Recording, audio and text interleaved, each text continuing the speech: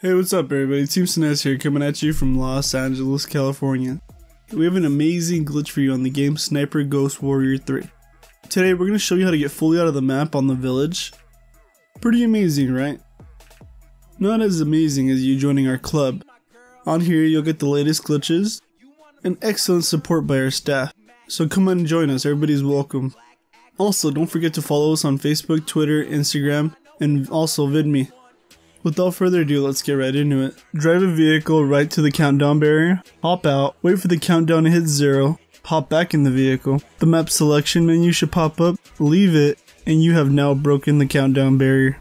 You are now free to explore any and everywhere you wish.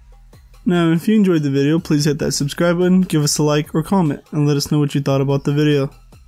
Thanks for watching. Team SNES out.